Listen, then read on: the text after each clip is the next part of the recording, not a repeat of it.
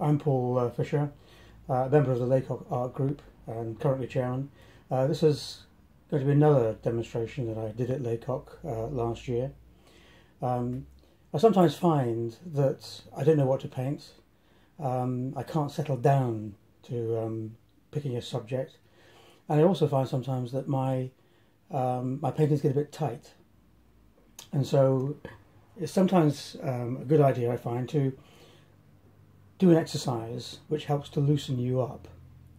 Um, several years ago, I came across um, something called Bob's Blobs.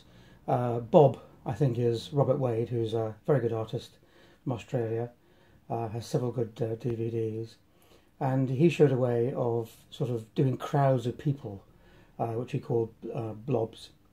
Um, it was shown to me also by Charles Sluga, the Australian artist, um, and it's quite an effective way of just loosening yourself up, getting into using lots of juicy watercolour, um, and doing it in such a way that you don't do any pencil drawing whatsoever. That's that's the important point, and you can do it very very quickly.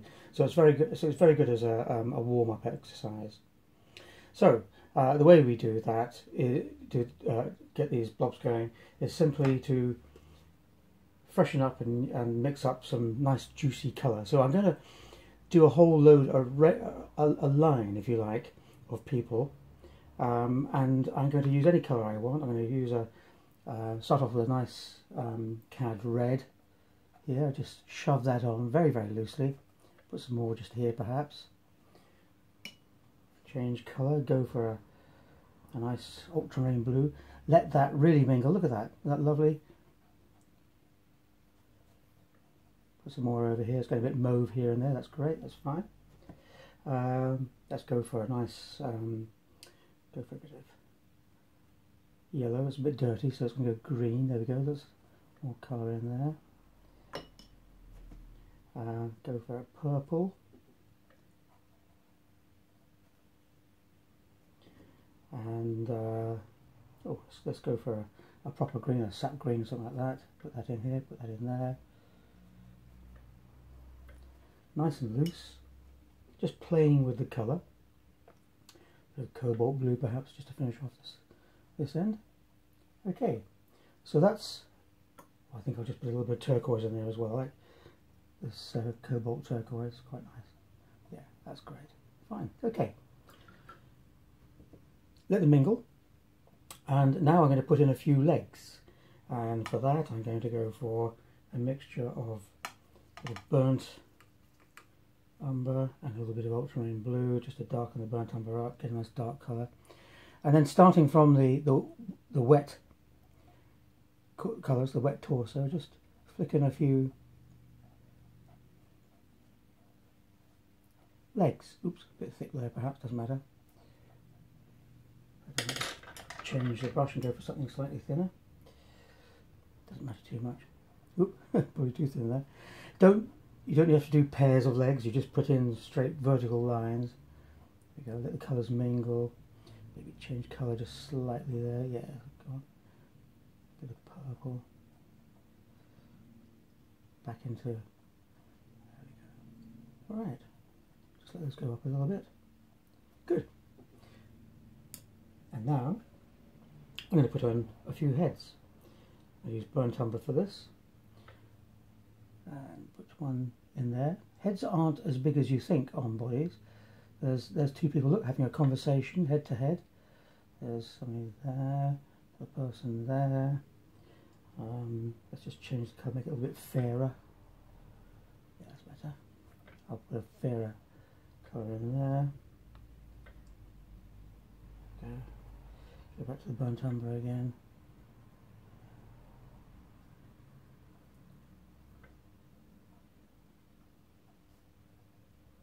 Thing is not to be too finicky, not to try and get them looking too right.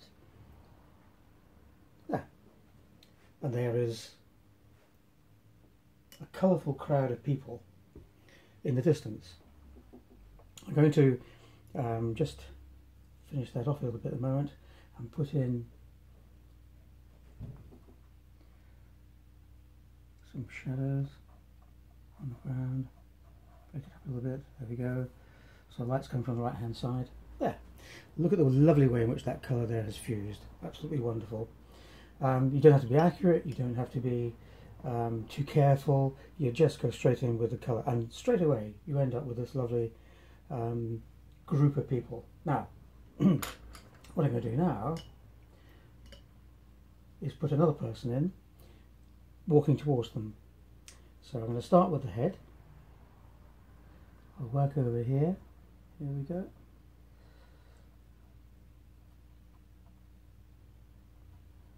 Long hair lady.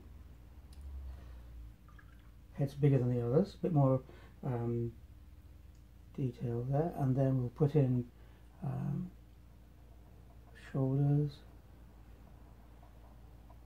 So I'm coming in. Let the colours mingle. Don't um, don't wait for anything to dry. Get straight in there.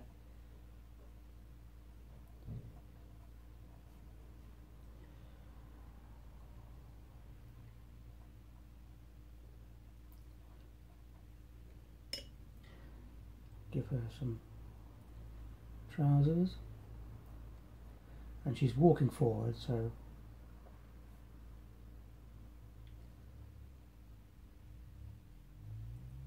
Good. Now want to give her a little bit of because she's closer to us give her oops it's not a very good colour. Um, try and get some clean colour there. A bit of uh, yellow ochre and a bit of just a little touch of red put in her face, hands just slightly thicker. So there she is, that's her walking towards the, uh, the crowd. And what I want to point out is that because she's closer to the eye, this is level ground.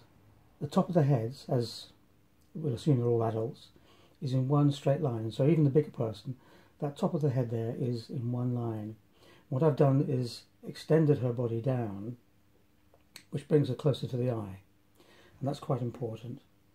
Um, so I'm going to put in somebody else beside her. Um, what should we do? Oh, we'll, we'll go for a bit of um, yellow ochre. Let the colours mingle. So here's another person, and you don't have to do you don't do individual um, separated people. You just do people that mingle together.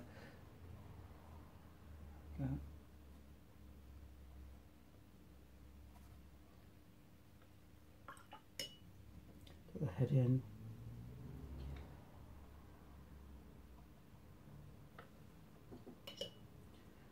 Uh, get a little bit of flesh on that face. Put a hand in there, hand in there, that's great, that's fine. And we'll have this one carrying a bag. So let's go for a yellow bag. a big brush.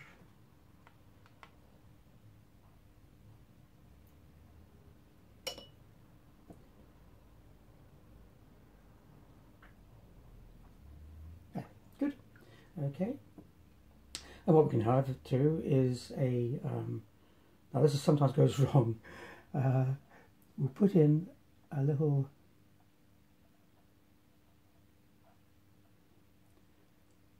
little dog. A bit wet there, unfortunately. Try and and that's all right. I've no idea what sort of type of dog this is. Doesn't matter. Gives it a little tail. Drop some dark underneath. Now the main thing to, to look at here is the fact that I'm doing absolutely no pencil drawing at all. I'm doing this as fast as I can. Uh, oops, tail. And then we'll make up a nice little dark here and just suggest coming from that person. Oops. A lead. Uh, we need to give these three, the two people and the dog, um, some shadow. There we go, plant some in the ground, a little bit for the dog, not too much. Good, that's fine, good. Okay, so we're gradually adding um, people to our our picture. No drawing, just playing with colour and using shapes which you observe from real life. Now, I'm going to put in, these, these people are all actually walking away from us. I'll put some people in perhaps later on which are walking towards us.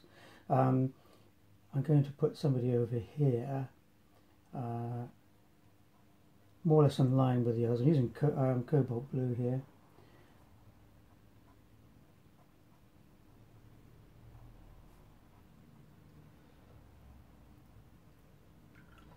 And it's just to illustrate that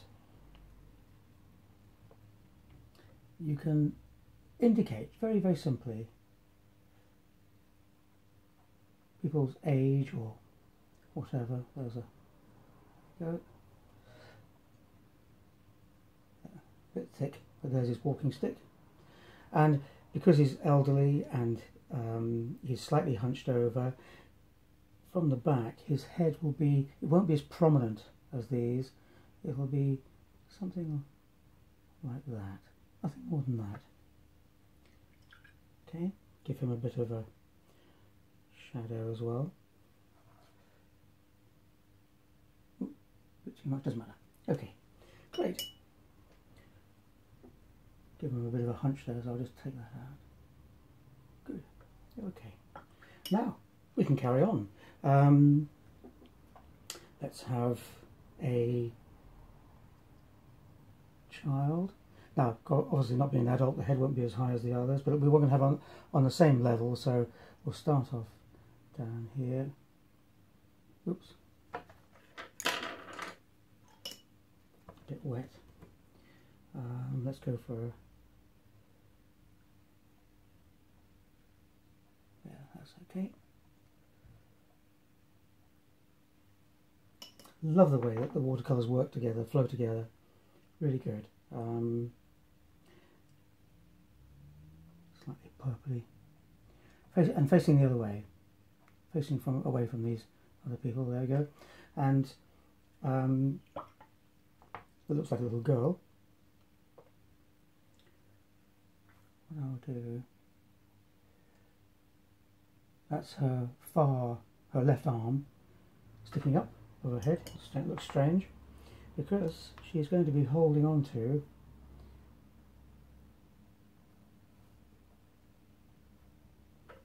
a bunch of balloons. Nice colourful balloons, yellow one, green one down here. Let the colours flow together. Do a nice blue one. Or bluey green if you like. Do a nice mauve one just playing with colour, just letting them all, there, that's fine, that's okay. Oops. Good. And then we want a bit of string. Use the burnt umber with a little bit of ultramarine blue again. Just suggest, not very good, doesn't matter. Anyway, those are the balloons, just tie her in with the others with um, extended shadow line. And there you are, you've got a story going. You've got a whole bunch of people. What you can do is put um, some people, uh, sorry, some, some uh, activities going on around them. So let's say that they're at a market. Um, so we'll just put a bit of a market stall over here.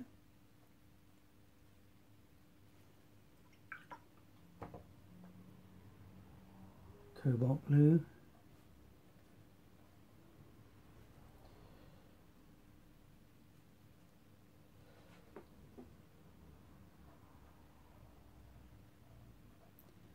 Again, just playing with colour, no, no drawing whatsoever. Um, so we want the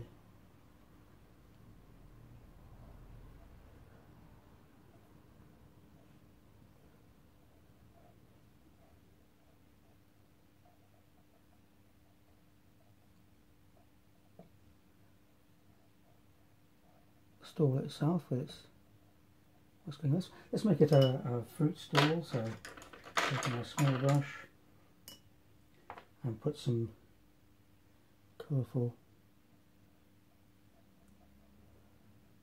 oranges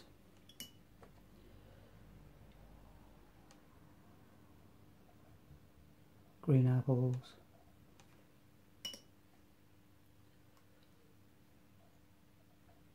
some red ones and so on too and then we'll have a stall holder behind. Now he's in shadow so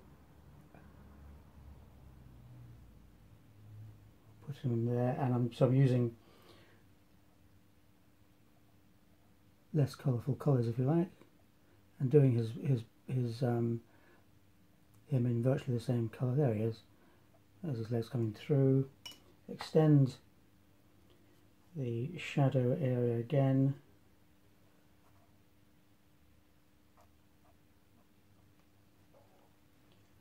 And there we are. We're sort of telling a story. Okay um, I'm just going to clean clean this guy up over here. He's he's run away a little bit. I suppose I could change that into a parrot since he's got a a galley leg Let's take that out. Not very successfully. Change that by increasing the tone bit on his. That's better. That doesn't. That mistake then doesn't show up quite so badly. right. Anyway, so there we go.